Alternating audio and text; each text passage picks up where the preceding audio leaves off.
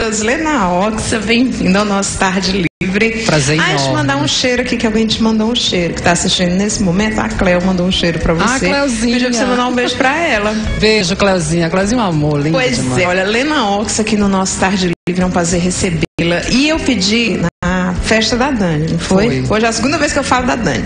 Eu pedi na festa da Dani que ela trouxesse o, o trechinho do espetáculo dela pro Tarde Livre, porque eu achei lindo, achei linda a homenagem a Bibi Ferreira, ao nosso é, tradicional cancioneiro nordestino, né? Tem uma musiquinha que vocês vão já saber e que ela vai interpretar. Agora eu queria que você falasse um pouquinho da Lena fora dos palcos, né?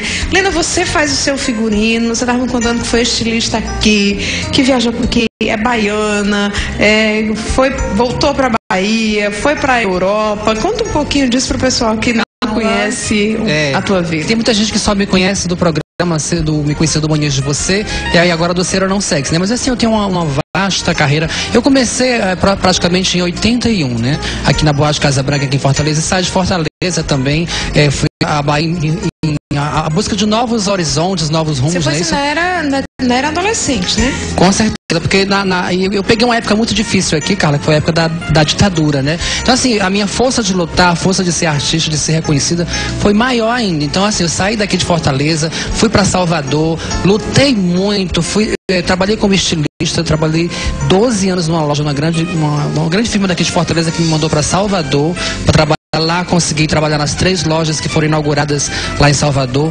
Consegui, assim, é, manter o- a minha linha né, de, de, de trabalho, como eu já era estilista, então assim, eu mantinha aquela linha é, para poder, pra poder me especializar mais ainda. E aí, esse ano eu estou completando 30 anos de carreira, Pois Carla. é, 30 anos de. Agora dia 29 é amanhã, no Não, caso, 29 não, de janeiro, né? de janeiro. Eu vou fazer, vai ter uma grande festa, assim, eu estou tentando fazer junto com a, a coordenadoria da diversidade, fazer essa festa aqui em Fortaleza, para mostrar às pessoas o, o- todo o percurso de minha vida. Que, assim, ah, tem gente que já tem 5 anos de trabalho e ah, já fiz tudo. Gente, né, eu tenho 30 anos e aí praticamente Já não sei fazer nada ainda. né? Tem muita coisa para aprender. E você quer fazer uma exposição com as roupas que você usava? Eu quero fazer assim, é, porque eu tenho uma- um material, Carla, de, de quando eu comecei, de 81, né?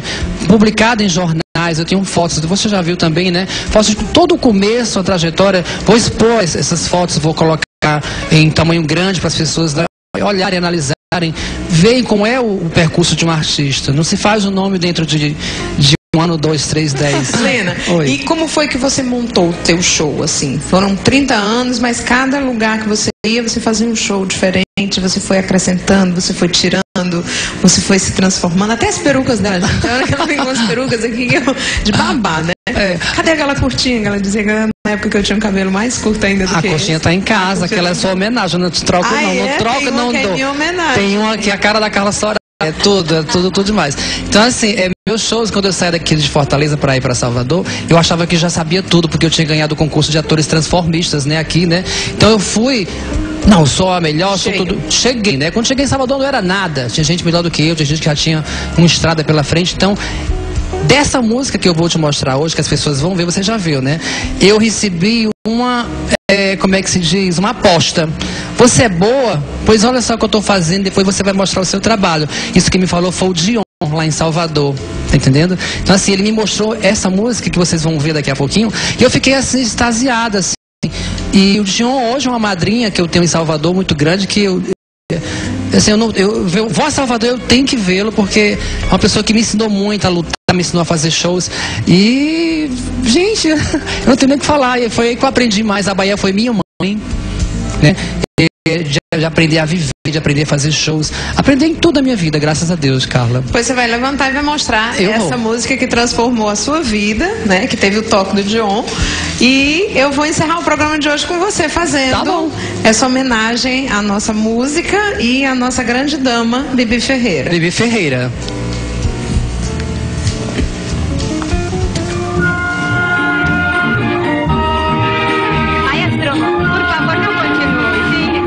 Obrigada. É que antes de mais nada, é preciso explicar aos ouvintes que a etiqueta deste disco está errada. Que Mulher Render não é mais do folclore do Brasil, é uma canção mundial.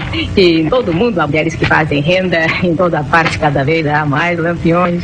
Na Argentina, por exemplo, Buenos Aires, num bar tango à meia luz, um malandro de sombreiro pega no microfone e diz: Mamita, te voy a cantar un tango, mamita, un tango muy porteño que me trae toda la recordación de mi barrio querido. Mamita, cuando tu hijo se acuerda de ti, llora como si fuera un nene. Hola, mujer rentera. Hola, mujer renta. Tú me enseñas a hacer puntillas, yo te enseño a coquetear. Tú me enseñas a hacer puntillas, yo te enseño a coquetear.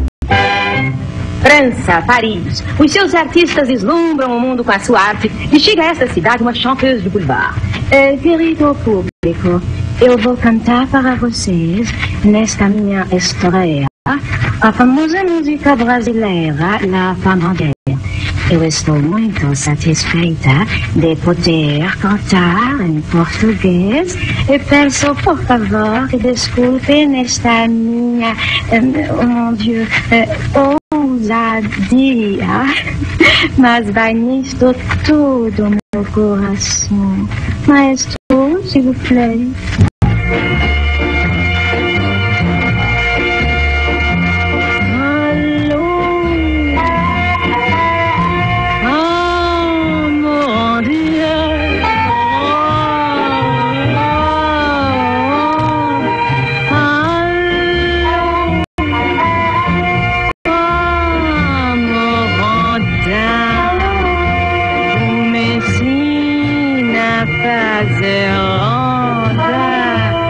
Eu te ensino a na, na, namorar.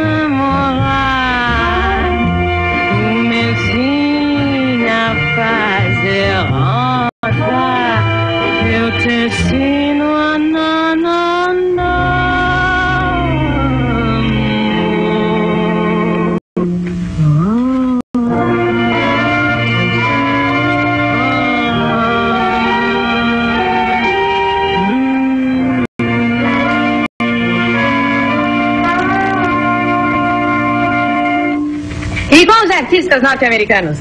I'm so glad to be here in this gorgeous town. I, I'm gonna sing, uh, sing, uh, da da da da to you, uh, rock and roll.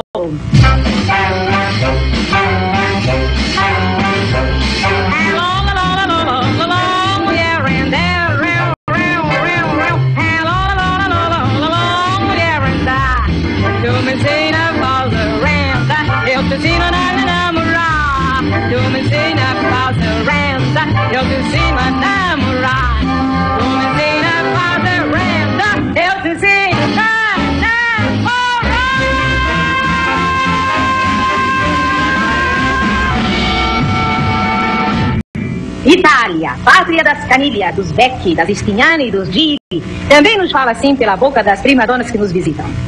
Agora vado a cantare per la distinta platea di questa città meravigliosa l'aria La donna vendiera dell'opera brasiliana Il Pangacello. Maestro, prego.